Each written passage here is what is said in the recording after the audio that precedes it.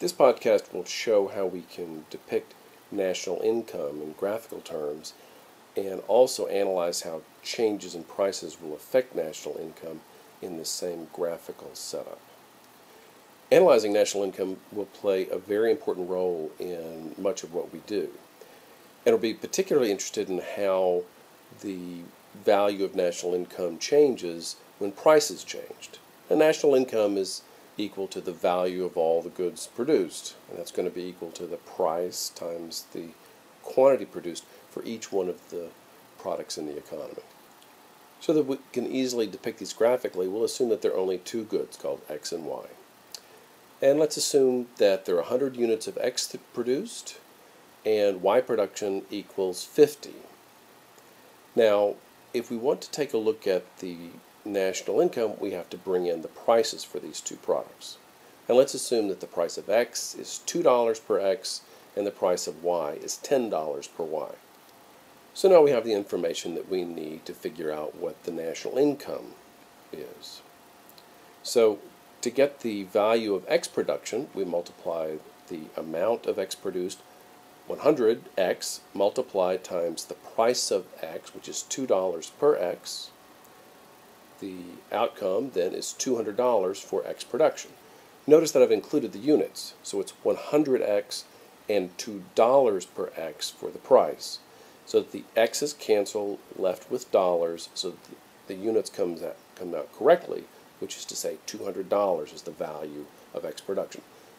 Keeping this straight will help in later applications strongly recommend that you keep these units straight as you do these calculations. It will be very helpful later on.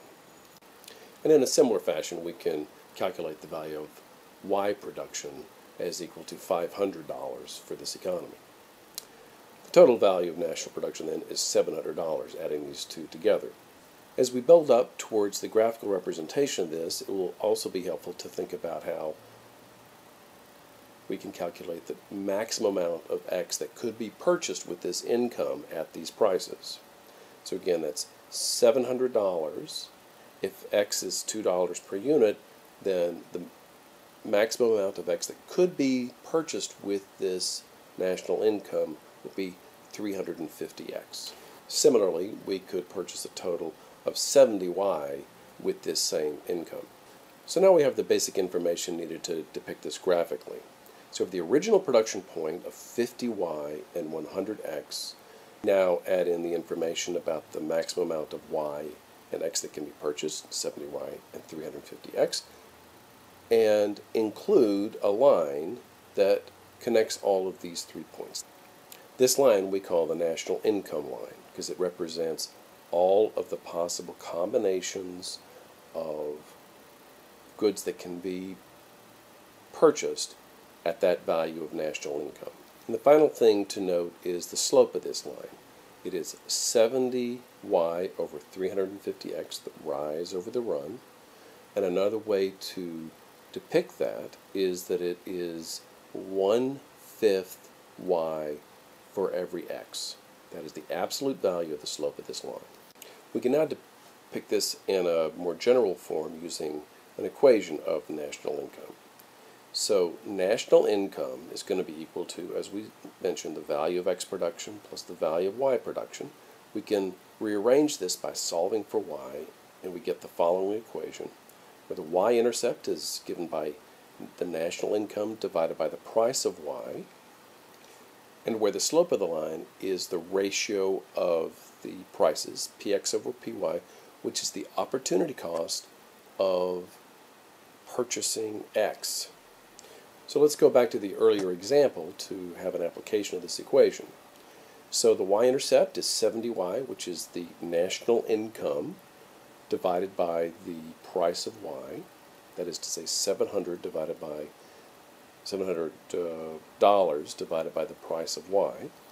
And where the slope of this line is, once again, the ratio of the relative prices, or 1 fifth y per x. Now, in many contexts, we're going to be concerned about what happens when a price changes. So let's suppose that the price of X rises to $10 per X, and we hold the production level fixed. Holding production fixed allows us to see how the income changes and the ability of the purchase of the goods changes by simply the price changing for one of the products in the economy. Now let's consider how the national income changes. The price of Y's remain, remains the same, so we still have $500 worth of Y production.